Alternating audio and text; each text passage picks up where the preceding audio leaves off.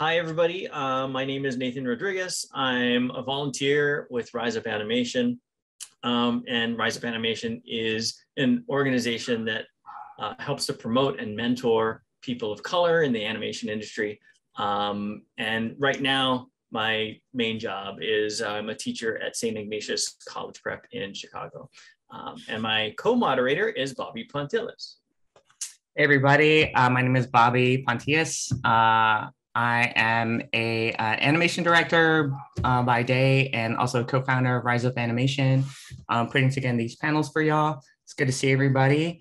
Um, and uh, today's panel is on storyboarding for the different mediums, um, specifically like TV, feature, and games industries, and sort of comparing the contrast and uh, kind of differences and the similarities uh, in their respective mediums. So this is really interesting. It's really cool because I know a lot of up and coming uh, artists looking to break in, and students have uh, sort of these kinds of questions, right? And I'm like, you got me like it that's a it's it's a good thing to talk about and a good thing to uh, kind of like put that out there and just kind of like talk to different uh, story artists in the different like mediums so thank you thank you all for being here uh, jerry steph and jon thank you guys for being here of course yeah. i just, I just want to say if we had a storyboard off between the three of us i would lose first no way. wait a minute yeah. If there was a storyboard off, you would be first. I'd be. I would lose first. Oh, you would lose no first. Way. Yeah,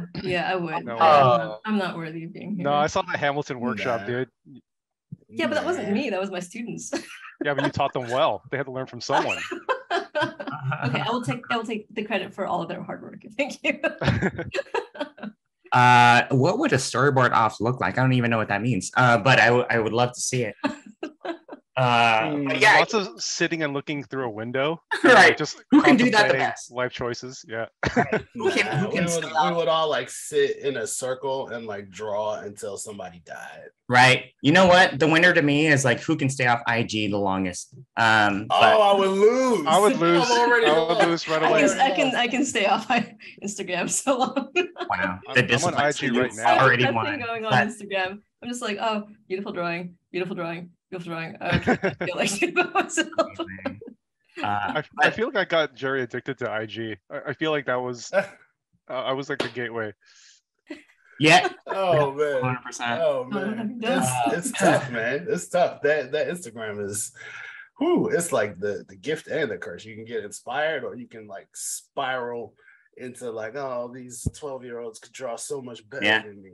Next thing you know, you're in the shower, like uh like fetus yeah. uh, position, just crying yeah. with a cookie. Or um, but yeah, go ahead. I I uh we, I can't wait to hear about your experiences and kind of learn from your insights. So I'm really interested in in uh, this panel. So let's get it started. Do you guys mind um, introducing yourselves? So we can kind of go around the panel and um, you can popcorn it um, to each other the ways that you want? Sure. Cool. I recommend that Jerry starts first. All right, Jerry, you're up, buddy. oh, oh, thank you. Um, yes, I'm, I'm uh, I volunteer as tribute. Um, yeah, so I'm uh, Jerry Gaylord. I um, originally from Washington D.C., um, Maryland, PG County, and um, I came out to LA 2017 um, got my first work on Ultimate Spider-Man. Uh, before that, I was in comics, so I uh, transitioned from comics into storyboards. Then I went to uh, Warner Brothers and worked on um, Dorothy and the Wizard of Oz and uh, Scooby Doo. From there, I went over to Blizzard, um, made some fun video game stuff with Jon. It was good times. And then uh, now I'm at Marvel. Uh, worked on um, uh, X Men '97, and um, still at Marvel doing fun stuff. Dang, that's cool. Yeah, that's awesome. Dang. Uh, All right, who's next, Jerry? It's up to you, brother. Oh, um, well, I gotta throw it to Jon because yes. yeah. um, well, I'm Jon Lam. Um, originally from Toronto. Uh, started off really wanting to get into comics. Um, then got into animation, and then after my studio went down, I went into comics finally, to some stuff for um, DC and Dark Horse, and then I went to Vancouver for Titmouse, where I did background layout which was like completely out of left field. And then um, I started working on Invincible as a revisionist, and after that, just kind of went up from there. So um, currently at Riot, uh, work in animation as well, and you know met met Jerry at Blizzard. So it's been an awesome time. Awesome. Very cool. Um, well, so before, uh, well, okay, so I was born in. I'm just kidding. no, come on, let's hear it. I want to hear the whole story. I, I, I hate that Yeah. kind of introduction. Yeah. So, I mean, um, first grade. yeah, I've I've been working in animation I think for nine years. Before that, I worked uh, a few years in in um, in live action as like a camera operator, and that was really Oh, cool. wow. But that helped Oh, to man. inform you know a lot of my cinematography uh, you know choices and and and like preferences and stuff. Um, but I transitioned into animation because like people in animation are just so much more chill and cool and uh, not assholes. Uh, I'm just kidding. Um, people in live action are not assholes. Why did I say that? They're really cool. Uh, but anyway, so I, I, I've, I've been working in animation for nine years. I started off as a TV storyboard revisionist. Um, and then after a year, uh, became a TV board artist at a different show, and then went over to feature after a year. And then after that, went to another feature. And after that, after another year, that went to uh, TV to direct. And then after a year that, went to Disney Feature to be a story artist. Um, that lasted two years. And then after that, I came over to DreamWorks Feature Animation, where I am a co-director now. Um, but I I meant to you know talk about the timeline of like I, I spent a year here, a year here, a year here, a year here, and for for like every single job that I had, like so many people in the, in the very beginning were like, why are you jumping after only a year? And this to me is really important. Like I've I've uh, I I- I could have I, I could have stayed on. Like I was I was oh, I I I will brag. I, I was I was valued on on like every single show that I was on, right? But at, at some point I felt like I've learned all I can from here and I don't want to Mhm. stagnate. So I, I I need to move on and, and keep learning and keep growing. Um, and a happy side effect of, of that, of like, you know, learning and growing and meeting new people was every time I jumped, I also got like a slightly higher pay raise, right? Which is awesome. Um, and then and then networking with a lot of people, getting to know a lot of people, getting a lot of experience, like working in every sort of different studio. Um, I, I think that's the only reason why I'm I'm at where I'm at right now is because I was willing to take that risk and and jump. Whereas I think in like most other you know careers, you're you're you're expected to be loyal to a certain company for like wow, 20 years or something, right? I personally did not live that life. I don't recommend it. I think if you want to learn and grow, you should continue to seek out different opportunities and and just talk to as many people as possible, you know uh, I, I just wanted to jump in with the with the real stuff right there. That was that was actually great because like that's actually something I tell a lot of people. Yeah. Uh, like a lot of people who ask me um about how to get in, I'm always like, you know what, jumping around is actually the best way to get a raise because like you could stay at a company for like five years and maybe you'll see a, a 10k raise or maybe like a thousand dollar raise every year. Whereas if you jump companies, you might see like a double, a double increase at times. So Thousand dollars. Wow. Well, I, I've I've seen people. Um, I, I, I knew I knew a couple people at Disney Feature who had had been there for like seven, ten years, and they had not um had like any substantial raise. They they were Mm, still in yeah. the like nineteen hundred per week range, Oh, wow, which was wow. ridiculous. Uh, Oh wow. yeah, w- and and like yeah.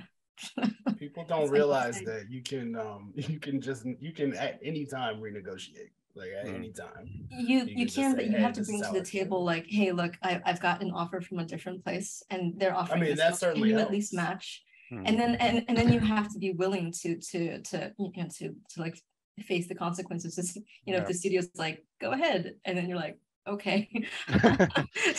Well so no i mean i've i've i have just asked you know like without without you know someone else competing. I mean if you feel like it's time or you know it's been a year or you know whatever just like there's nothing stopping you people just don't so Well, maybe that's know? because people actually respect you, Because when I asked, when I asked, um, and I was just like, "Hey, it's been a year. I've, I've I've been on this thing, and I've proven myself multiple times." You know, production would tell me, uh, but we can't really afford to, blah blah blah. And I was like, "Well, okay, Mm. then I'm just gonna go to this other student." Like, no, no, no, we can give you whatever you want. And I was like, "Not too Yeah. late, guys. Like, what what the hell were you thinking? like, seriously." Yeah. yeah. Well, I mean, you know, honestly, like kudos to you. Like, don't like I love that you did that. You know what I mean? Like if if you can if you can get a better deal and, and make more money and and be valued more, then you gotta go. Yeah absolutely, completely agree. I feel like that's something that needs to be taught more in in schools in general. Is just like you know business management and taxes. You know, like all that stuff is super important. And like you know, learning art is is great, but it's definitely not like the only thing. No, it's not. There, there's a lot more to learn uh, about life in general. Um, Yes. and life experience can definitely help you in in any art form that you work in um, but let's see here. Uh, so again thank you for jerry stephanie jon for all of you guys to to come and participate and be a part of this. I really appreciated it. Um, i reached out to you know quite a few professionals and you were the ones that said yes i want to volunteer you know an hour of my life on a weekend.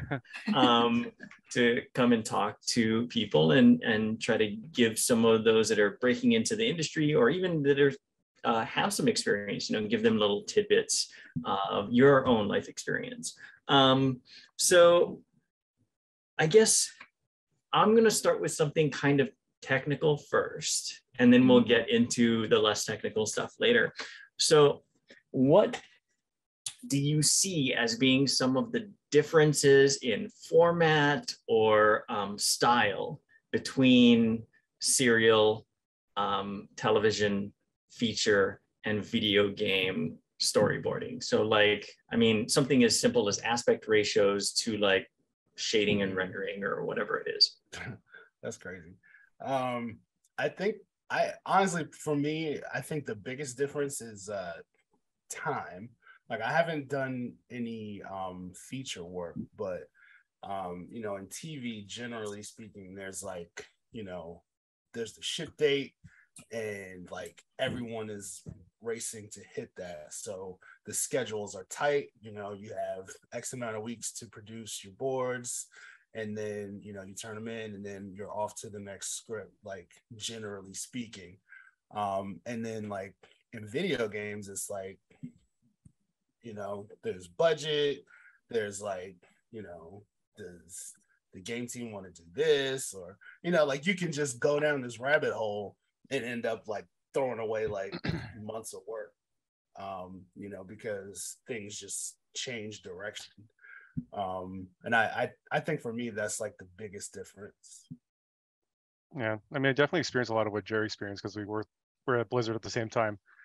But um, like animation is is like I've never worked in feature either, but I worked in TV, and like the pace is pretty crazy. You know, you get your script, you get your kickoff, and then you start doing uh, thumbnails, and you pitch it, then you do your rough, you know, get director notes, and then you you clean it up and stuff. And um, sometimes you're expected to hit those uh, those revisions and and, uh, and deadlines within a month. You know, and then after that you're on to the next script, and next script, and you you can get pretty burnt out if you don't learn how to pace yourself. And I think that's something I definitely didn't do in the beginning. I was like, because I came from like an illustration background and comics and stuff. So I'm like, oh, every panel is gonna be like amazing, right? And then and then by the time I'm getting to like the the one minute mark, I'm like, I really hate myself, you know, because like because like all of a sudden like every every time a, a, project starts off, it looks awesome, and then as the project goes on, you know, the figures start you know losing some facial features and some fingers and stuff, and you know, and and then you develop your shorthand, which is like which is also um, something that everyone needs to do too. But I would say like in gaming, it's it's kind of different because you like in most cases like Blizzard or Riot, the client is the company, so you're you're working for a first party client, and when you're doing that, um, they can kind of dictate when things need to be pushed or when things need to be like delivered right away. Mhm. And you know, as as Jerry knows, there's lots of like changes that happen within the script. You know, characters are dropped off, characters are added in, um, you know, levels are dropped off or whatever. And like sometimes you might be working on one sequence that changes multiple times but you're working on that for like a couple months and like sometimes you, you might do amazing work but then it'll just uh, it can get scrapped so you kind of have to be like ready to to like not be too precious about anything but um, I'll throw it to Steph because like Steph has feature experience and I'd love to hear. Yeah, yeah, sure. like, I mean, I, I just want to, you know, jump on what you just said about like not being precious when with- not being precious with any of your, you know, panels or boards. Um, I think that's that holds true for both TV and feature. Um, I, I think that the that the lines uh, between the two, especially in animation, have actually been blurred in like recent years. Um, it used to be like, you know, TV definitely had the harder schedule and I, I want to let that sink in because feature is not like that anymore. You know, feature uh, like we're we're we're crunching our schedules now. You know, to the point where um, you get okay. So this this might sound ridiculous to people who who you know work in TV and have to do like like a page a day, right? Um, whereas in feature, you you might have to do like three to eight pages in three weeks that's that sounds that sounds like oh wow you have a lot of time. But here's the thing um, in feature like you're you're working off of a script or no scripts where you don't know what the story is. You, you don't Oh, know wow. who the characters are right? The, the you know the thing is like we are creating these characters and and their journeys as we go along. And so you're you're going off of like a really blank can- canvas. And most of the time the director is still searching for the answers. And so, you know, when you know when you launch someone, um, it's, it's not like you're like this is exactly what the character is thinking and feeling. It's like it, it's you know we we say so much like, why don't you try to explore this, right? Mhm. And I hate that word because like I I think that the director should always know. Uh, or, or have at least some some some strong preference for like what is happening in this scene. But a lot of times i see directors just tell story artists just just please explore and like figure it out for us solve it for us you know what kind of like pressure that puts on the story artist who has to turn in like this this like sequence in three weeks um and also solve a lot of the puzzles that that's going on. That's that's a lot of mental pressure for for saying like okay I, I i was just launched on a monday. I have to do my first check-in with the head of story by the end of the week so on friday and then do another check-in with the director on, on the following Monday, get notes on that, and then and then like address those notes, check in with the director and head of story again. And then finally, if if it's ready, if it's ready, you can turn it into editorial at the end of the three weeks. So you might actually do the same sequence like four times in those in those three weeks. And and it it it really like can I curse? Already have. Oh, oh, I have. Okay, that's just who I am. So like it, it fucks with your head because you're like, what am I doing wrong, right? Um, but you know, a good a good director or a good head of story will tell you it's not it's not your fault. It's because we're still figuring out who these characters are and, and what's going on here. Um, and uh, and, and and it sucks because like ten years ago, I, I think I think 10 years ago, like in feature, you, you would be given a sequence, you would have like four to six weeks to work on something. So that meant you had time to actually sit on the pages and really think about like, how do I make this entertaining? How do I fix the problems that's in this script? TV, the script is already bought off, you know, by all the execs. By the time it gets to the board artists, you can't change it. So you just have to board Mhm. what's written Mhm. um, you, you're you're expected to plus you know certain things like with the acting and stuff but in feature you're essentially given something that's broken and told you have to fix this and so um, you know 10 years ago you had you had the time to, to, be like let me think about this and let me let me ask you know like all my colleagues like what do you think is going on here? Or you can talk to the you know director head of story you had time to do that and just be like let's brainstorm this shit together right? And then you had time to just storyboard and like you know you could you could uh, well i guess not 10 years ago but like maybe 15 years ago you could you could just like draw a few panels like on paper and then pin them up on the on the board you know what i mean? Like really old school style. That sounds nice. yes yeah right? So so you weren't animating. You were really just figuring out what is the structure of this scene? Is it working? Um, and then you could you could figure it out like pretty quickly because you weren't spending a lot of time on draftsmanship. You were thinking more about the story solving the story. Um, but now now it's like we we launch story artists and they don't have time to think about how to fix it. They're just like we have to start boarding right away because we have to check in by the end of this week. And because there's a lot of competition between all the storyboard artists, you know, it, the, the focus has unfortunately shifted from let's fix the story to like, how do I make my boards really beautiful so that the director buys off on it? Mm. And that's that's not that's that's more TV style, not that's not feature. And it's just like that's really unfortunate. I think that's the problem with a lot of features coming out nowadays is that we're not giving you know the story artists enough time to to actually percolate on on like what are the issues here, who are these characters, and and actually fix it.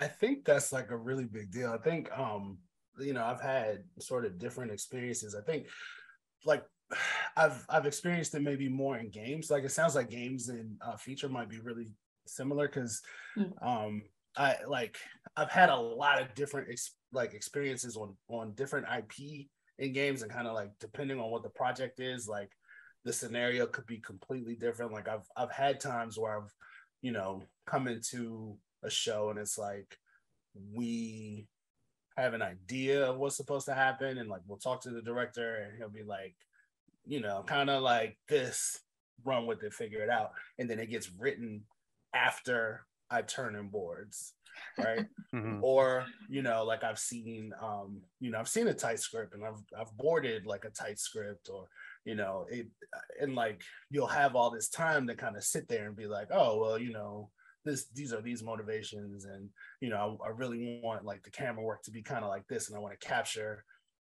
um, these emotions and you know and really like sit with it. And then i've had times where they're like yo we need this tomorrow.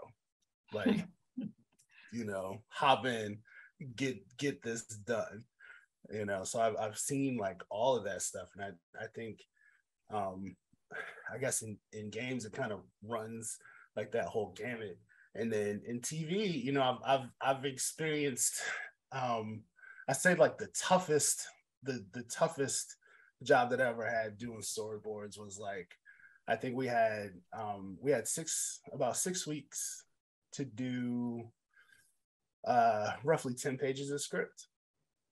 Um, and I, it would be like two weeks for roughs, four weeks for cleans. Um, and then like that, that two weeks to do the roughs was like really hard, like to, to like come up with the story and, or not come up with the story, the scripts would be really tight, but like to come up with, you know, like this is the thing, you know, pitch that and then you get like all these notes but it's like for me i would be like well i, I didn't have like if i had another week to like sit and like think about you know what the story was before i pitched then like some of these things maybe you know the issues that the director and the um, producers would have like maybe some of these things wouldn't exist at all you know i would have had time to be like oh you know this is a better solution to that so like I, have definitely seen it kind of both ways. Yeah, I mean, I, I was just gonna say, like, Steph, you're saying how like board artists need more time to just like sit and kind of let the the script cook and the characters cook. Mm-hmm. And like, I feel like a lot of us that work in animation or or you know just art in general, we kind of feel the need that we have to show something something cool to you know our higher ups so that they know that we are working and sometimes the best thing you need to do is like not draw anything and just sit there and really think about, you know, what's motivating the next scene like you know what's motivating these characters? What is the story about? You know what is the what is the takeaway lesson from from this scene right? And sometimes when you are working through that you're not necessarily drawing anything you're just thinking and maybe you're even writing you're writing down notes or you're doing like really crude stick figure drawings on, on a poster right? But like i think we all feel that pressure that we need to show something by a certain date. And sometimes you end up um, sacrificing those times where you should be thinking about something and just drawing something for the sake of drawing something. So um, I don't know. I, I, feel like it needs to be talked about more. How like if you have if you go past a week and you haven't drawn anything, that that's not necessarily a bad thing. Sometimes most of the work gets done when you're taking a walk or you're in the shower, and then you come up with something. Like yeah, like, I, like for me personally, like when I'm sitting in front of the computer and you know the Storyboard Pro is open and I'm just reading the script, I'm like, I'm like feeling very intimidated by the by the blank um, canvas, right? And then I'm like, oh my god, like eh, like sometimes I get caught up in the technical things, like oh, I want this camera to do this, or I want this this to feel like you know Korra, or I want this to feel like John Wick or something, right? And we really yeah. need to yeah. just like just like just look at the script, break it down, take notes, underline if you need to, and then step away. You know, like watch a watch a movie or uh, go to the bathroom, take a walk, take a shower, and like I find like when you're not actively trying to make that thing happen, that's when things happen organically. Mm. And I, Yeah. I, I- that that sounds that sounds really awesome. I, uh, I like I like your your process very much. Um, with with the you know the movie that I'm co-directing on, uh, our our story artists don't have time to do that thinking for a week. They they just they they have to show us something, you know, four days later. Mhm. um, you know, after after we launch them. And and typically we want to see the entire thing boarded out, right? And then uh and then and then we'll say like, oh, we need more AV poses. We need to, I mean, that's like Mm. that's always that's always a thing, right? But um that's like a baseline note. But then the but then what can come up is like, oh, um, I guess we didn't launch you correctly, or or like we didn't think about this in the in, in the right way. So this approach is actually uh, not not correct, and it doesn't really matter who that's on. At, at that point, we just have to scramble and be like, this is actually what we think we we we, we want, right? Like, so thank you for exploring, but you're gonna have to redo it now, and Mm. then and then and then you'll have to check in with the director. Hopefully, the director says like, oh it, yeah, this is good. But if they don't, if the director is like, oh no, it's it's still not right, then that storyboard artist will have to redo it again. And then you suddenly are are at the end of three weeks, and, and it's just like, why haven't you finished the scene yet? We we we have another sequence to give you. Um, so yeah, it's it's it's it's a lot. I I I understand that TV is really difficult. Trust me, I I I grew up in TV, and I and I I recommend that everyone work in both TV and feature, because I I really hate that there's like um so much misunderstandings between the two, where like both sides kind of look at the other and they're like, oh, like they've got it easier, you know Mhm. like there, there are feature people who have never worked in TV and they're like, ah, TV people never have to think about story. And I'm like, shut up. and but but there are a lot of TV people who look at feature and they're like, oh, your schedule's so lax. And it's like, you don't you don't understand like how often people break down crying from the mental pressure of having to Mm. fix something that that they can't actually fix by themselves. And so many people are are are um are, are too shy and too scared to to show that they don't understand the story. They think they have to understand everything. Like oh shit i'm here to to problem solve. So so isn't it a problem then i'm asking people to help me problem solve? Um so uh, you- there's you know there's a lot of things that you you you, you know you sort of just like think like this is how it works. And then and then and then you know most people like fuck up their first feature you know storyboard sequence. They're, they're just like i, I was complete, was done completely wrong. Um and and what sucks is no one really talks about it but it's so true. It, like in features story artists will get like maybe three sequences to prove themselves and the first one will always go wrong. So then you only have two more sequences to prove yourself um, because if, if you turn in three sequences that the director is like i can't use this then guess what that person is going to be given smaller and smaller sequences until eventually they're rolled off and then they're going to wonder why they weren't good enough.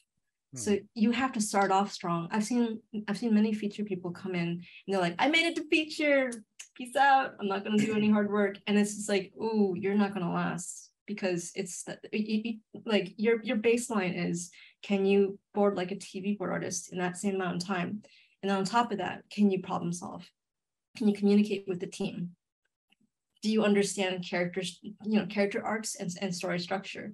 There's there's so much there's there's more that you have to to uh to to like know and in, in in order to survive at feature um so i i i personally admire people who work in both feature and tv because I, I certainly could not handle the you know the schedule at tv nowadays. Like you guys have to edit and like mm-hmm. like animate things out and have perfect layout and everything. We don't need perfect layout. We don't need to well sometimes we actually do need to animate. But I, I'm, I'm personally thinking that the lines are, are getting more and more blurred between boarding style of tv and feature. It's kind of like we all have to be jack of all trades master of all and that is really concerning to me because we're not being paid enough for that too so. We don't have enough time for that. I'm just like oh gosh like jump Like I- around so get paid more.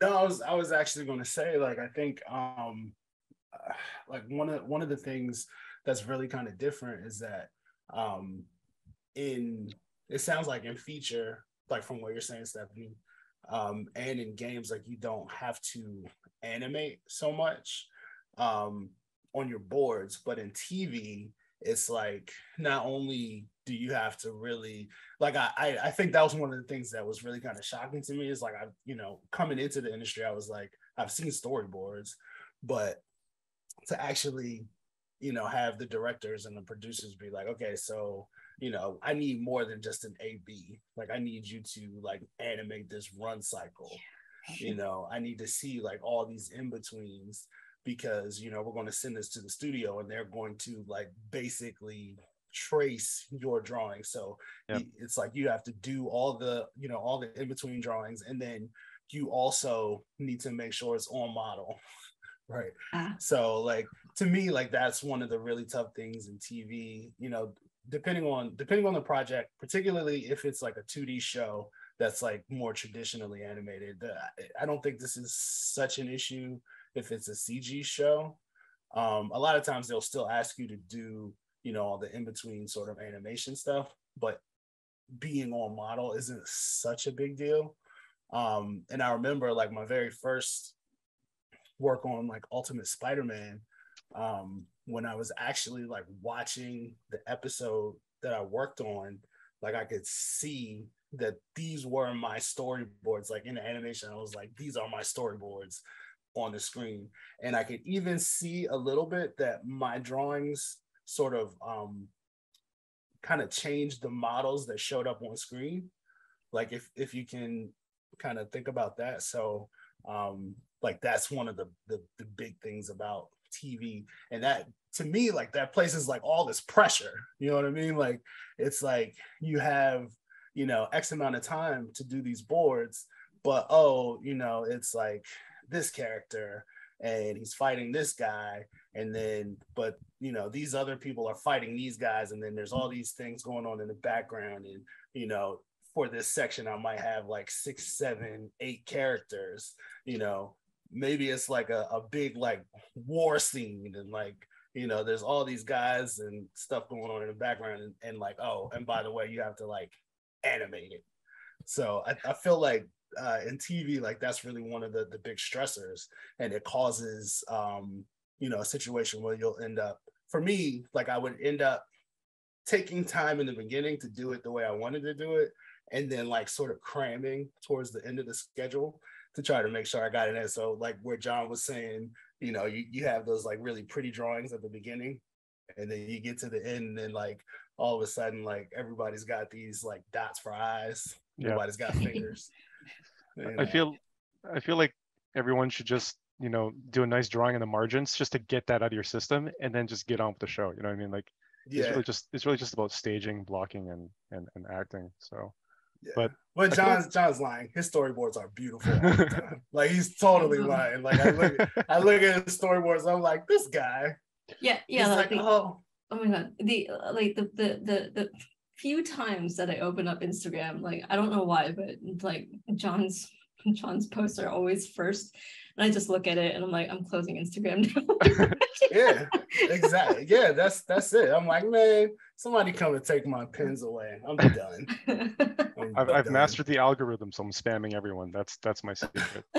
I have a question for you guys that's not on my script because I, I just hear that there's a tremendous amount of pressure. So like, how do you deal with that pressure? How do you, um, you know, what do you do to like self-care or how do you how do you manage that oh copious amounts of crying uh not sleeping enough not eating well that's that's no. actually how it was for years but um i'll let yeah. else talk first no i i everything you're saying like sometimes sometimes sometimes i deal with it great you know i do what i'm supposed to do like i get out i walk i exercise and i you know do things that aren't work like i watch you know watch movies and play video games and do the things that that gets my mind going. Like I I collect like action figures and stuff. So, you know, sometimes like a little photography or like um, coming up with cool poses and stuff um, helps helps to kind of get the gears going. But sometimes, like particularly if a, a deadline is crazy, like all that goes out the window. I'm sitting here and I'm drawing, you know, you know, like six, seven, eight, nine, 10, 11, 12. It, it I have, I mean, I know all you guys have too. Um, probably did it this week, done like, you know, 24, uh, knocking on 40, 40 hours of work before trying to like hit a deadline. Um, and in those moments, like I don't handle it well. Like it's it's bad, you know, like I'm eating garbage and you know, ordering all this terrible food and feeling like mm-hmm. crap and you know, burning all my creativity away. So I, I try I try to stay away from that because that sucks. like that feels horrible. And um, I, I personally think the best way to handle it is to really try to have like a tight schedule and to say like at this time I'm going to stand up, go take this walk, or make sure I eat lunch, or you know something like that. If you can do that, then you'll feel better. Like the work looks better. Mm-hmm. Um, but you know, is that always possible? Well, I think for me, I just kind of realized that uh, most artists are actually their own worst enemies and like we we beat ourselves up in our heads more than anybody else ever could. And like i think once you kind of um are self-aware of that you have to realize uh, like i, I like I, what i used to do is i used to look at a lot of reference before i started drawing. Like i'd be like oh i don't know i don't know what i'm doing i don't know how to solve this problem. So i'd like watch how like everybody else has done it before. And like the problem with like looking at all these artists who are greater than yourself and you end up your mind gets more messed up because you have now now instead of st- instead of starting off with a pure idea you have like 8 9 10 11 12 different artists in your heads uh, in your head and you're just like um, frozen with indecision right? You're like this guy solved the problem this way. This guy solved the problem this way. What should i do? Like should i is there a way i can combine all of them or do none of them work? Right? And i think that's a problem that a lot of young artists have is that they're they're so um, like they put all their um, confidence kind of in like the artists they see around them or they're looking to others to solve problems instead of realizing you know you are in the position you are because you made it there right? If you are currently a storyboard artist uh, working in film tv or games you got there for a reason.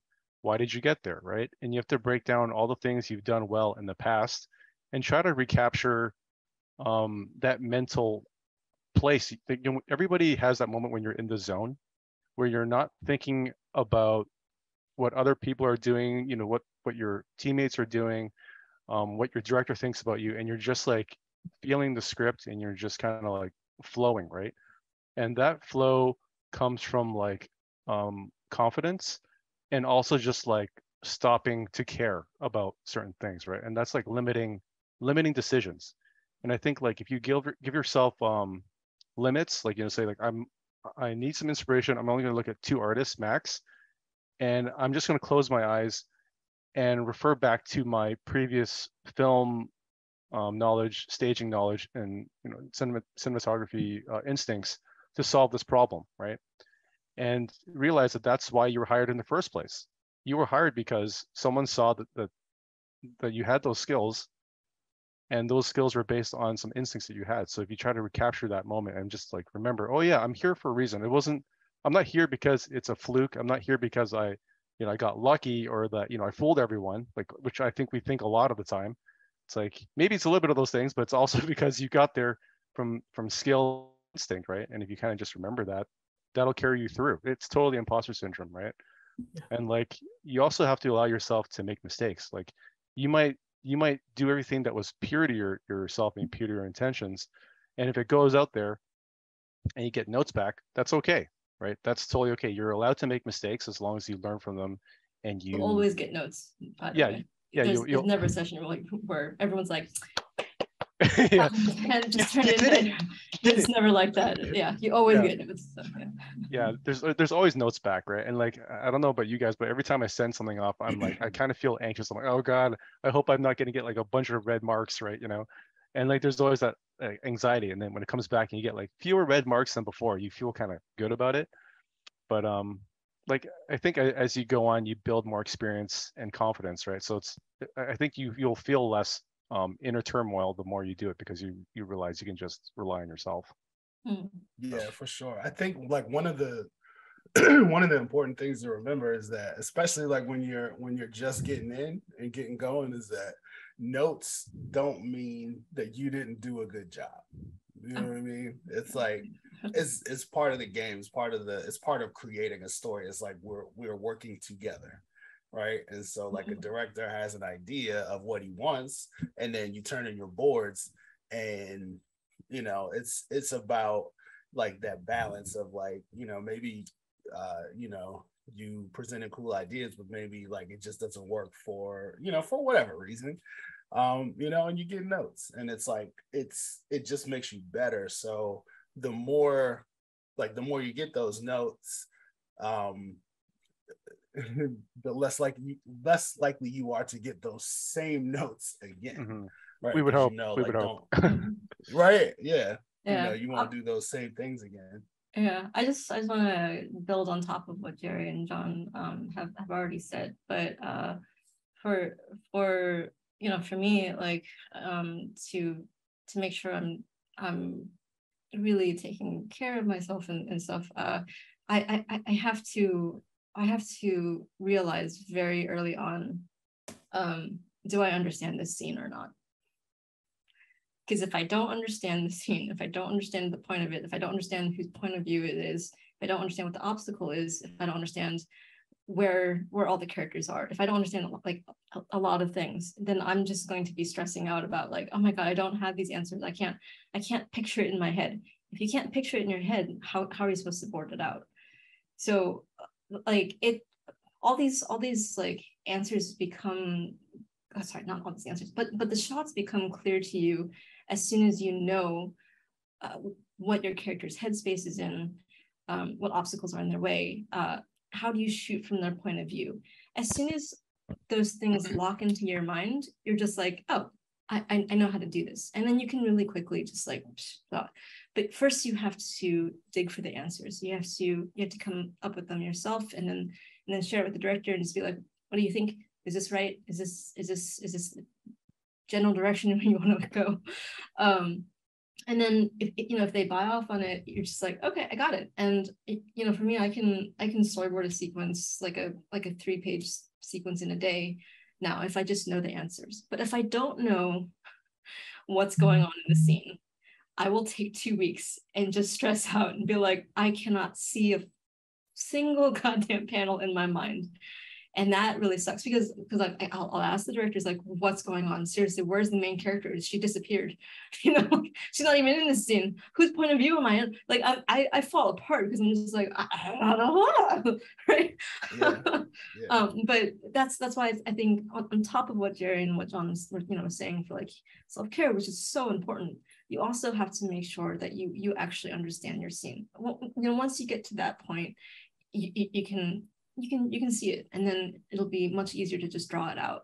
You won't be fighting your own mind of like, oh, I don't know if this is right or not. Yeah. Yeah. I have one more question, and, and then probably I think we'll be close to time for taking questions from um, our viewers. But um, you were talking about how you know you have difficulties. Is there a person or you know that you go to when you have difficulties that you can rely on to, to help you out, like in your you know in your job? You know, um, is that your your lead, your your co?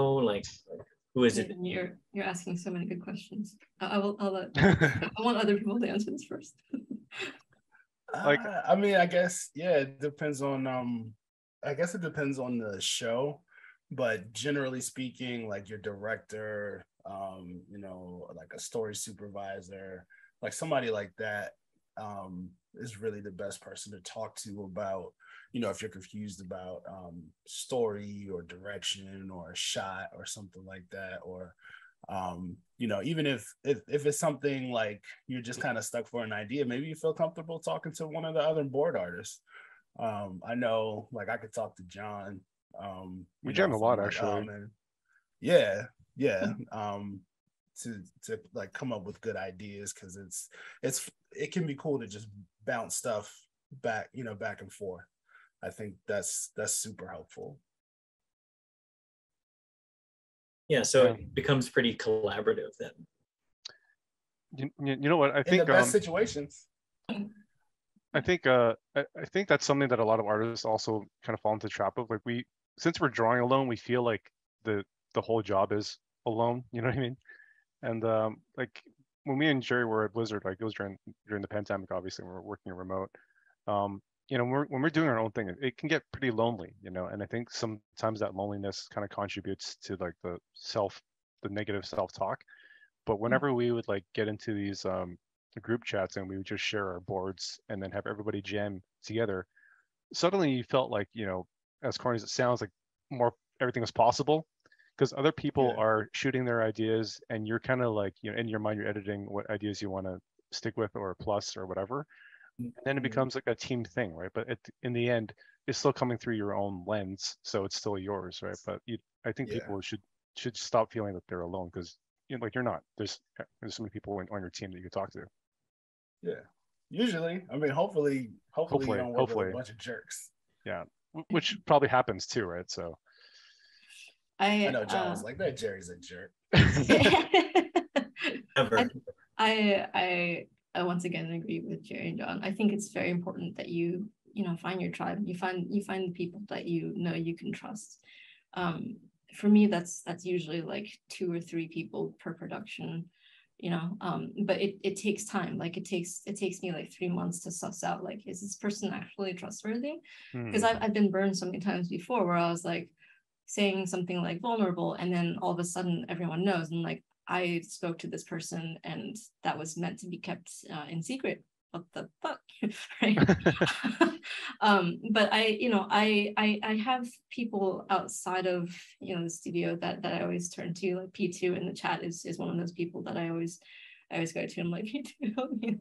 um, but uh, my my story is a, little bit darker um, in terms of like because I've been burned so many times. I I now take the approach that I, I will I will spend many weeks and even even some months to to really suss out like how did that person react to, to you know to like someone being in trouble mm. did they gang up on that person or did they help them out were they understanding or did they judge because because I'm, I'm I'm not like a good judge of character like right at, at the at the very beginning. Everyone oh, presents oh, a very good like like oh I'm, I'm I'm of course I care. Like we we all want to be fair. We all want to make sure that you feel comfortable. And I'm like that's a lie. That's a fucking lie. As soon as like shit hits the fan most people here will throw you under the bus. And that's why I'm I'm I'm of the opinion that I, I, can only take care of myself, really. I can really only trust myself, honestly. Um, and there's, I, I'll be lucky if there's two or three people that I can I can talk to about more of my general problems, right? But I'm not going to go too deep into it because I I've been burned so many times, and it's just like, well, I, I have this I have this very pessimistic view. I think because I've burned so many times. Seriously, like people I help out, like people I've I've I've really like like saved in some ways. They'll they'll turn their back on me. They'll they'll, they'll backstab me like in like a week later. And i'm like what what what happened? So i've i've i've gotten to the point where i'm just like i i, I need to see how this person reacts to various you know, situations. And then actions speak much louder than words right? I feel like i can trust that person. That person always has has other people's backs. They're good people I can talk to them. But in general, no.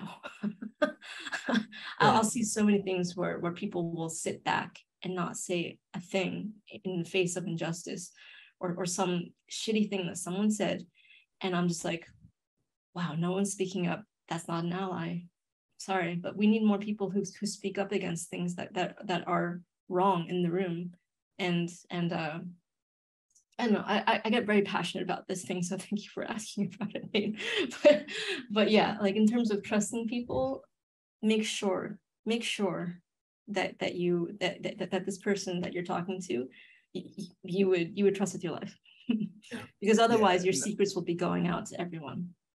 Well, I keep hearing. Oh, I'm sorry. Go ahead. 100%. No, I was just going to say I agree with you 100%. I think that's for me like that's something that my dad like always really kind of instilled in me but um, I I I've been fortunate enough to to really um, to make some powerful relationships on um, most of the shows that I've been on and and people that I really trust, like Jon is a he's a really good dude. So even actually, I think we we built our relationship before you actually started at Blizzard. Now. That's true. Really That's true. About it. But um, yeah, like there's there are people that like I know you know will be there for me like like way outside of work stuff and so, you know, like be, you know, be mindful, like know who you're talking to. Like not everyone is your friend for sure. Mm-hmm. But you know, find those people that are.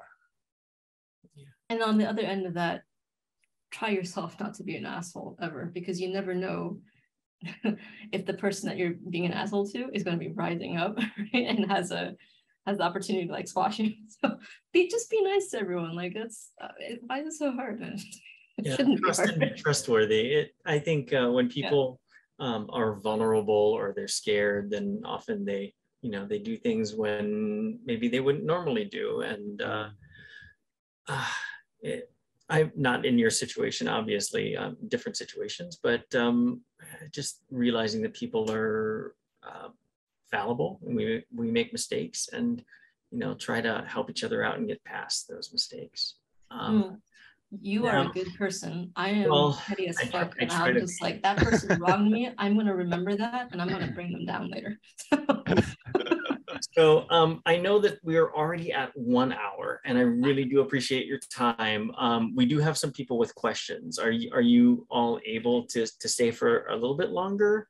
Yeah. Yeah, yeah, yeah. Okay, thank you. Thank you so much. Answers. Appreciate it. Answers. So, we got all the answers to all the questions. So So first we have, I think, Jess, um, who's hopefully you're here. I see that you're muted and you had a question um, way back when at the start. Do you want to ask that? Is Jess able to unmute herself or should I hey. ask the question? Uh, hey, Jess, are you, oh, let me, let me. Hello? Go ahead. Hey. Hello. Oh, um, I wanted to ask that because I am the incoming freshman who will be studying animation when you're applying for jobs and stuff, like it could be interviews or actual jobs towards like end of graduation, what do you think is the best way to start off or the best time, as well as what to include in your portfolio? The best um, shotgun, hit them all. Like whatever the jobs are that you want, send your portfolio to those people. Um, you know, be visible online, be visible online um, yeah. be nice, be a person that people want to work with. Um, in terms of what to put in your portfolio, if you want to do storyboards, put your hottest stuff in your portfolio. I like to to do like to to put like animatics up on my website, and then um, uh, you know just the, the best stuff that represents this the kind of work that you want to do. So if you hmm. want to do action, put action boards up. If you want to do, you know, like more like cartoony, um, like kid stuff, put that stuff up. If you if you you know you'd like them both, you know, have a well-rounded um, portfolio of like a little bit of of each. Like it should just represent you. The the number one thing though is don't put anything in your portfolio that you feel like you need to explain, right? So like if right. you show me and you're you're gonna be like, wait, so you gotta first of all, you gotta understand that you know, I was having a bad day, and before I started drawing this, and I was feeling like this, like nothing like that. If you if you feel like you're gonna start saying stuff like that about it, it doesn't need to be there. As as far as anybody knows, everything you draw is as dope as the stuff that you put in your portfolio. Damn, dropping no caveats. True. Nothing to add. No further comments. well, um, uh, I would I, I would say uh, I, uh, I, I, I agree with Jerry. Um, you should you should apply um, as soon as possible. You should you should start that relationship with those relation with with, with those those recruiters because it's not like a one and done deal where you're just like you're gonna hit up a recruiter once and just be like here's my portfolio and then like disappear um, you're you're going to find yourself talking to the same recruiters at the same studios over and over and over again. So it's always it's always great to be like, hey, uh, you know, if it's your first time, hi, like I'm blah blah blah. This is my name. Um, I've this is uh this is my experience so far. Um, here's my portfolio. I was wondering if you could take a look at it. If you have any openings that um, you know, you, you might uh, consider me for, or if not, if you have any feedback, that'd be great. Always be polite, of course. Um, uh, it, it, it, like lightning might strike and you might get your your your job like from the very first you know email that you send out. Typically, that's not the case though. Typically, you have to like send out a lot of emails, um, and and to the same same recruiters over and over again. So, you know, if you if you reach out every time you have an updated portfolio piece or something, um, that that recruiter will start remembering your name and also clocking oh this person is is continually like fixing and updating their portfolio. That shows that they're that they're working hard they're passionate they're dedicated and they're really polite whenever they reach out to me. Um, uh, just start building those relationships now. It's it's uh, it's never too soon honestly. Um, and i also agree with uh, Jerry about like making sure that your portfolio is cleanly curated for the job that you want. Uh, I, I can't stress how many times I've seen portfolio sites for, you know, storyboard artists have like um, um, layout pieces, background designs, character designs. Uh, I guess character designs are okay, uh, but then you know they'll they'll they'll have so many other things, and and I'm just like I don't know if this person wants to be a storyboard artist or not.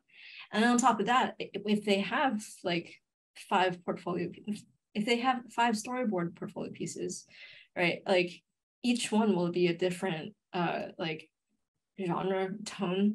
Um, you know, one will be about death and it's so dark and it's like really philosophical, and then the other will be like really silly. It's about like you know, there's a bunch of fart jokes. And I'm like, who is this person? I don't know what mm. their vision is. I don't know what they're trying to say, right? So you, you have to be very clear about who you are as an artist and what you can bring to the table to this to, to the studio that you want to work at.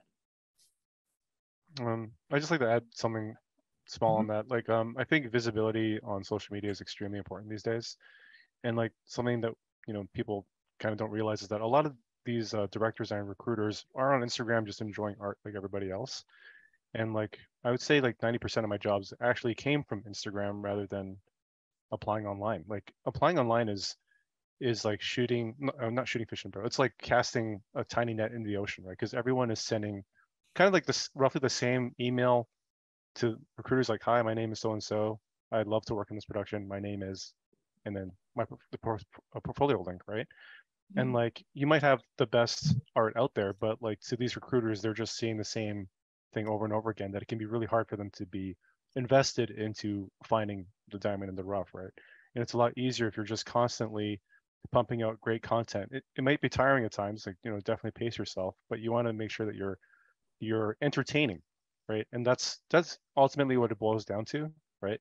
You have to entertain people and get them interested in your work and want to invest in you as like um, a person and a product. You know, unfortunately, but like if you can if you can start introducing like um you know enticing people to start DMing you that that's when you you'll, you'll have the easiest time right because people are coming to you rather than you going to them so there's also power dynamics you have to think about um that's, oh my God. I thought you said I thought you said like you have to entice people to start damning you, and I was like, I'm already there.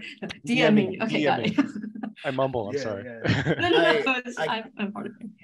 I couldn't agree more. I also do um conventions like the big mm. ones for mm. animation would be like mm. San Diego, CTN, Lightbox, um, mm. Lightbox, even um, WonderCon because you oh, know oh, really? directors, recruiters. Oh yeah, like I've the um, when I got my job at Warner Brothers, um, I met the um, the line producer at WonderCon, um, and so you know talking to him, he knew my buddy Brian and um, so that like that's how I ended up moving out to LA. So you know, uh-huh. being there, showing your work, like you said, it, it really like just like my mind, it changes the power dynamic. Is a very very different thing. Um, you presenting yourself to someone or someone coming up to you like they saw your work and now they're yeah. approaching you like it's an entirely different ball game hmm. yeah thank you some really good insights thank you so much um, We've got Vita. Um, you have a question or had a couple of questions. Hello. Uh, can you hear me? Yes. Yes. First of all, I would like to say this is incredible. Thank you for taking some time out to help fellow inspiring storyboard artists. Um, yeah, I'm just really grateful, and I hope I'm speaking on behalf of some of the others here. Um, so my question was, did you guys have um like any tips that you use to practice uh keeping up to speed with the speed that's within the industry for boarding? And mm. um what what advice would you give us that have no experience with that? To draw fast? Yes. Uh, i think no go ahead jon.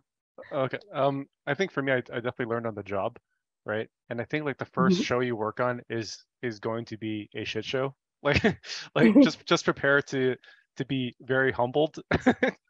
You know like you're gonna go in there thinking one thing and then you're gonna leave the next month being like uh yeah i knew nothing. Uh, now i need to like figure out how to draw things that like look good communicate but also uh, are efficient in a way you know? Um i don't know mm-hmm. if i'm going off on a tangent here but like you have to figure out um like of that level of drawing that you are that you can live with right? Not that you think is amazing, but like you can live with and that you can maintain um, for months, right? Um, and if you can mm-hmm. figure that out, then you can um, then you can like sorry, I'm like I'm having a total brain fart. But basically, like you, you just figure out that like medium place of, of your art. I think that'll, that'll carry you through, and you'll figure it on your own um, the level of drawing you need to to meet your deadlines. But it's you, there's definitely going to be an adjustment period and growing pains where you're kind of frustrated, sad, and a little bit discouraged but if you just work through that you're, you're going to find your way there. Okay. Yeah. Time um you know practice um is really the thing. I think for me like my second like my first work was like freelance and then i came in um my first my first work at warner brothers i was a revisionist. So i was able to come in and as a revisionist like the boards are there and you're fixing them fixing that's that's kind of strong. You get notes from the director and you know specifically what to change. And so you see you know what has already come in what's acceptable um, and so you have an opportunity to kind of say oh well this is kind of what it should be then when you actually are doing your own boards it's really just a matter of you know just practice and i would say like as as someone who hasn't done it professionally, just find a script. Um, see if you can do seven pages of that script in four weeks. Like just board it out. Because that's I would say that's that's probably average for TV now. Like four weeks, six weeks is generous.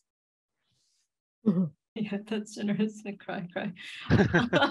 um, uh, I, I, I, I think I think it's absolutely correct that um, you're gonna learn the most once you get your first job your your you know your skills are just going to skyrocket because you you are at that job like um five five days a week right like eight, eight to 15 hours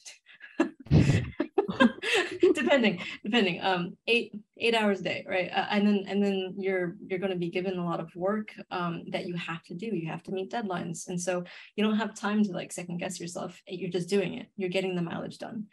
But before that before you get your first job I, I, I think it's it's really important that you create two to three solid, you know, storyboard uh, portfolio pieces. Um, and for me, I, I I was originally like, oh, I'll just study on my own. I'll, I'll like buy these art books and watch YouTube videos and and I'll I'll, I'll learn that way. And um, I underestimated how lazy I am. I feel that. I feel that to the core. yeah, I was like, I was like watching these these videos is uh it's just not fun. Like, like all these ads are popping up and like I I think I must have um you know ADHD because I was I just get distracted really easily. Um, but but once I started taking classes, you know, storyboarding classes at Concept Design Academy, uh, that's when I was in a focused, you know, group environment with other, you know, students who were just as passionate about like learning, right? And then and then you're learning from, you know, from teachers who are professionals in the industry. Uh, so so you know for me like once I was in that environment, that's when I started to see explosive growth. So I, I would I would say like um, if you're like me and you can't and you can't like study on your own, um, by the way, if you can study on your own and you don't need classes, you can just rely on YouTube videos and books. Fuck you. Uh, just kidding. No, you're awesome. You're a genius, and I, I really envy you. But if you are like me um, and you're a total procrastinator, lazy, blah blah blah, uh, can't do it on your own, um, I would recommend taking classes. Uh, it, um, you can go to to there's, there's, there's like so many schools out there right now, right? So um, I would I recommend if you can you know because because classes are expensive too. If if if you have to save up just for one um, make sure that when you take that one class you put your all into it and that you come out with two storyboard portfolio pieces that you can put into your portfolio and be like this is what i can do. Um, so that's my advice for students yeah, thank you. Um, getting feedback from an instructor, someone in the industry that knows what they're talking about, is uh, just so very valuable. Um, so if you can get that, uh, that that's really important. Um, maybe we'll take one more, if that's okay. Um, and I do have a little bit to add to this, but we have a, and I might butcher your name. I'm sorry, Young Cure. Yeah. Hello. Hi. Thanks Hello. for having me. Um, so I wanted to ask, kind of going off of what Stephanie mentioned earlier about kind of the work culture differences with TV and feature, and just kind of the pros and cons between both, or like how you have to think differently.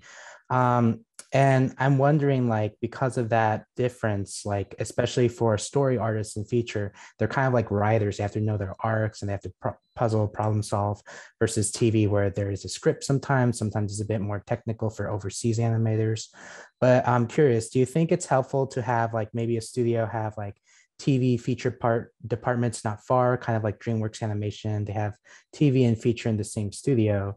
Uh, mm-hmm. Uh, does that help with like the cross cultural differences between both, or you think That's having them question. in its own studio would be yeah. better? That's a really good question. And in an ideal world, yes, there would be a lot of intersection, uh, you know, between TV and feature on the same campus. Like, you know, DreamWorks especially actually has both feature and and TV projects at the you know 1000 flower street um, that's that's the campus you know like we we sort of like live on the same campus but we never interact. And that's so sad to me because uh because you know, i think we could learn a lot from each other but um there's uh, I, I i think certain I think I think certain people in the story department, both in feature and TV, are are trying to to like find you know times and like meetings to you know to set up to to get people to to like meet each other uh, and and and start getting to know one another. Um, but it's it's not really something that's in the, the studio's dna to you know to be like we're going to uh, encourage a lot of interaction between feature and tv people um, which I, I don't i don't see why not right? Like um, it's you know it certainly doesn't help that we've all been like quarantining for so long and working from home. Um, I think it's it's it's only uh, is this is this what month is this? I have like no August. It's uh, it's December. like was it, is it still July? Okay, so like next month in September, you know, DreamWorks plan is to is to have people start start coming into work three days a week.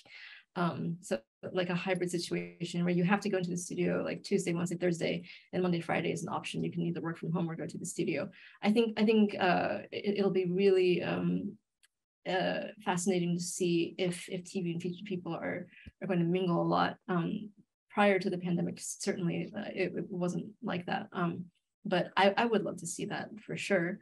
Uh, but that is again an ideal world. I haven't seen it happen yet, but who knows? Uh, we we all, all of you guys are the future. You guys can make it happen. So please make it happen. yeah, thanks. And adding quickly to that, like maybe all of you can interject very quickly, but with story artists, do you feel like they're kind of like writers as well? And then, you know, maybe they should get paid a bit more because it's a lot of problem solving. So thoughts on that, where it's like a lot of hats to wear as a story artist and feature? I think um, as a story artist, no matter where you are across the board, you're you're creating stories. So um, you know, it, it could be as simple as like, you know, if it's like a, a, a comedy like kid show, you might have to like create a gag that isn't in the script or you know maybe um, in an action scene the the right the script will say and they fight or they fight in you know in this location and you just have to figure it out it's got to be like two or a three minute scene um and you have to choreograph it all and and tell some story uh and and create an emotional link in that time um yeah. as far as like getting paid more for it i'm going to say sure yeah of course i want more money yeah pay me i would love it yeah yeah I feel like, like uh, yeah. oh, no, go ahead. make it happen. On you first. Make it happen. Jon, please. I was gonna say like um, like not only should we be paid more as you know writers, but I think we also do a lot of other things that we're not supposed to be doing traditionally. Yeah. Like you know we're we're editors. Um, we're kind of like cameramen now because we're we're using virtual cameras and stuff.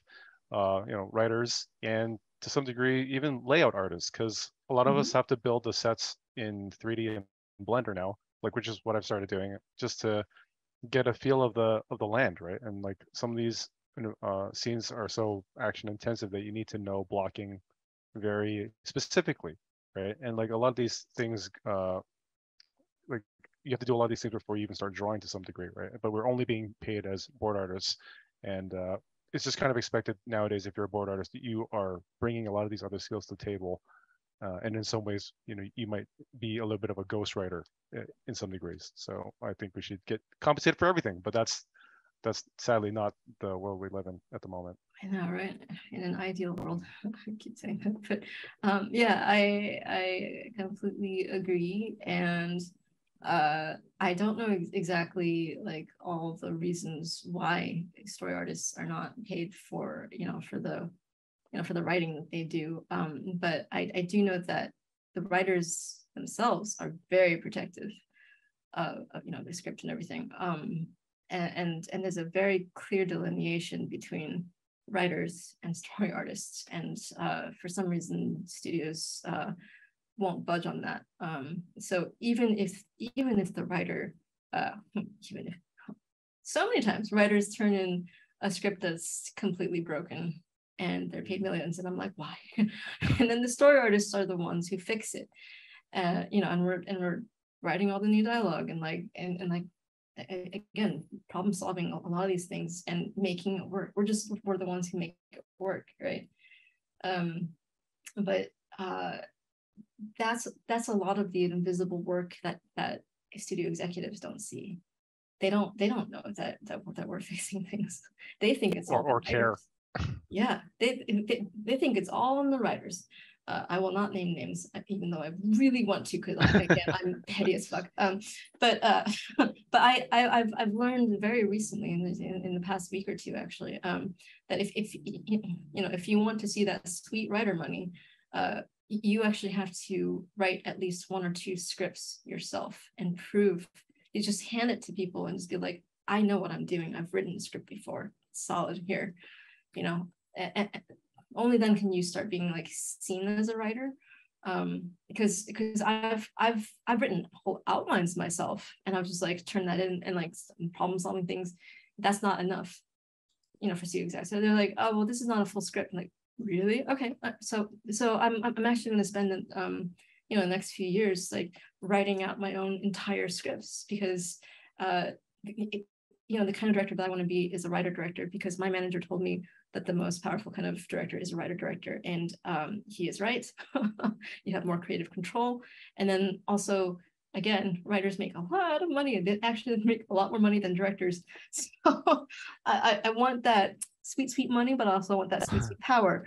Um, i want that creative you know freedom. So i, I want all of it you know i'm greedy like that. Uh, but yeah um, it's not really answering your question in that way but i think you, you, you have to start like like looking far into the future about like, oh, if you know, if you want that writing credit, you should just lean into that, get that writing credit, write a script.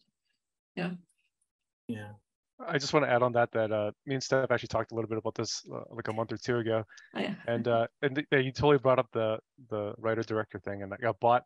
This, I just want to let you know that I bought the stack of books that you recommended. I haven't read them all yet, but you know I, I bought the stack, so yeah. thank you.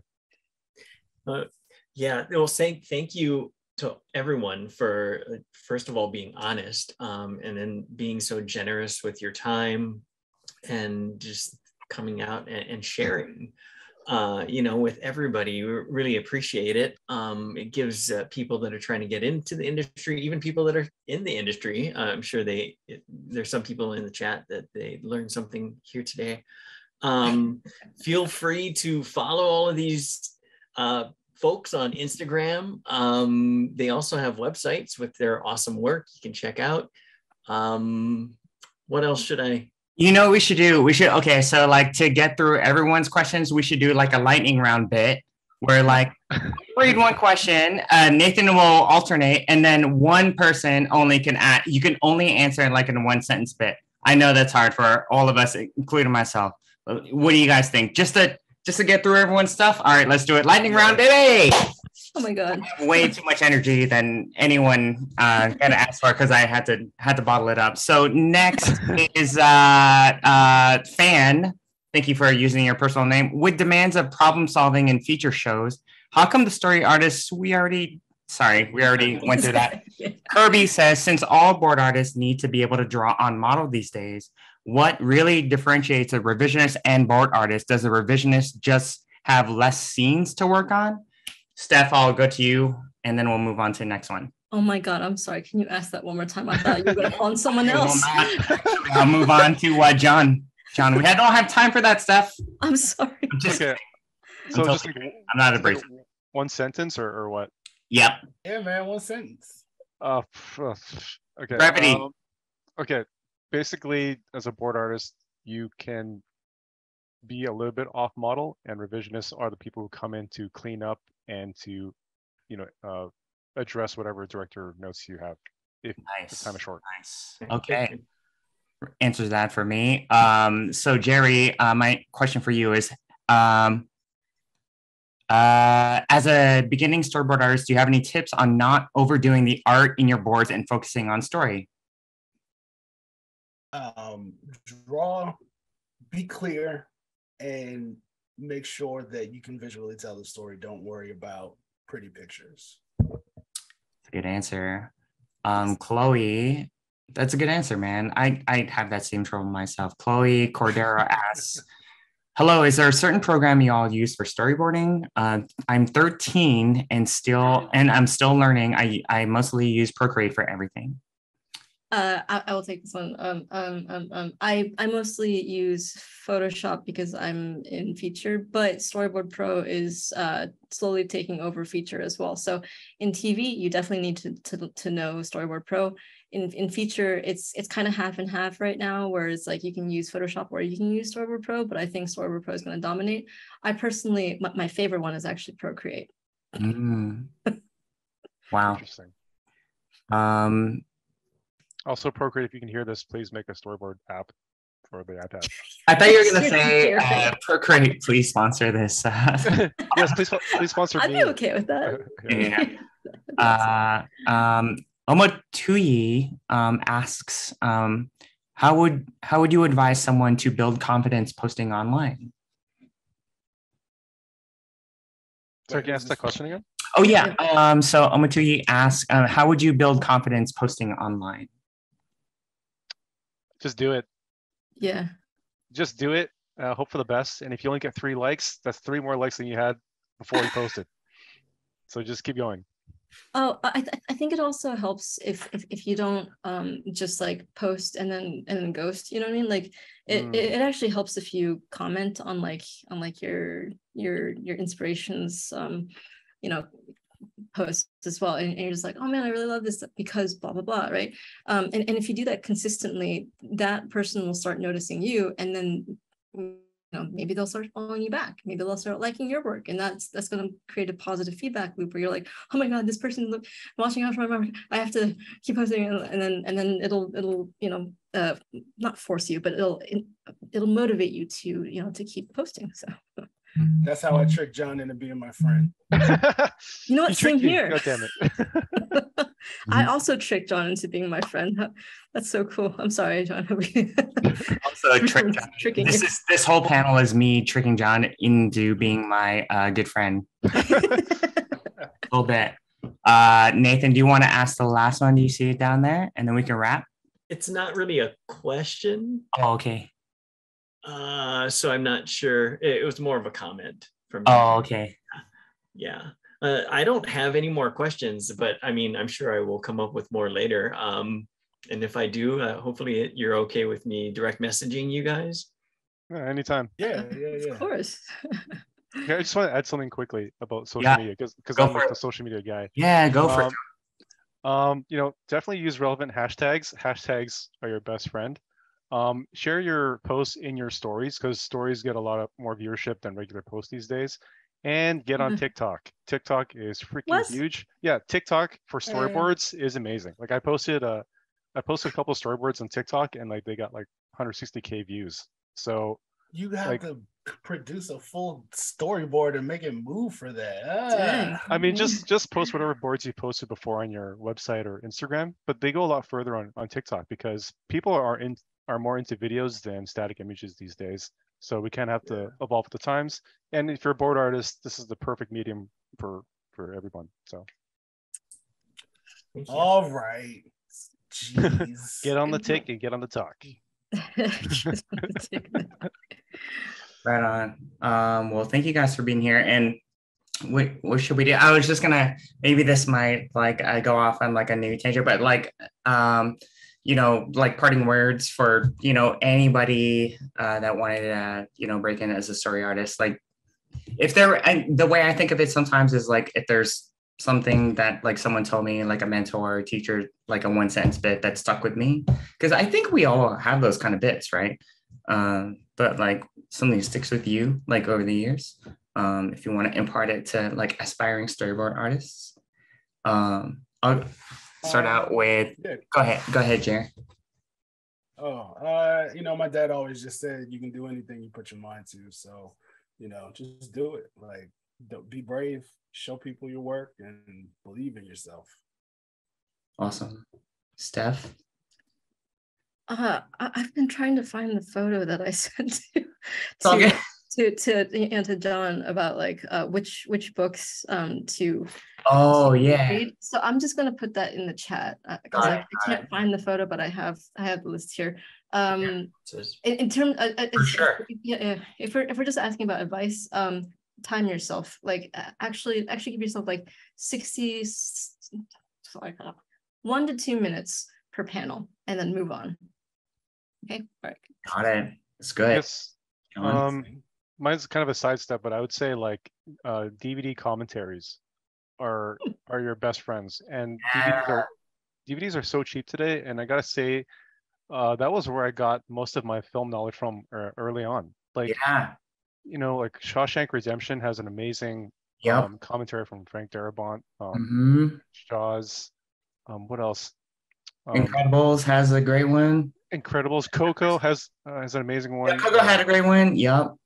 Yeah. Oh my God. Just like you know what? Just go on DVD hunts or Blu-ray hunts for those commentaries, and you're gonna get so much inside baseball knowledge. You, you will. God, It's film school, man. So that's great, man. Yeah, that's a great. Yeah, that's such a good point. Yeah. Yeah. Yeah, I just, I just put, I just put the, the books that I recommended into the chat. I Nice. don't know why I'm talking like that, but yeah, totally recommend those.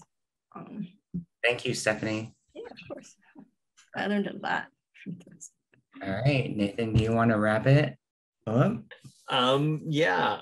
So I, I guess with that, um, just keep on learning, everybody. I know I'm constantly learning every day. Um, and another thank you to all of our panelists and all of our Yes. guests, and to Bobby for for putting this on. And you know, uh, it just all came together. I'm like super happy. Thank you so much. It's yeah, been so much thank fun. you so much for sharing your guys' experiences and insights and all that kind of stuff. So wonderful. Having us. Yeah. Yeah. yeah yeah yeah you guys are like a wonderful panel and you guys like built off each other we had like 20 questions and then we asked like two of them because we're just let you guys loose and and this is kind of like i always say this at the end of every panel and it's just me being pollyanna a little bit of just kind of like you know like the industry for everyone that's kind of breaking into the industry students and that kind of stuff like um, the industry is filled with uh, people like these people on the panel, Nathan included as well, uh, just that are going to help you on your journey, that are um, willing to kind of share their experiences and share their knowledge and education and everything like that.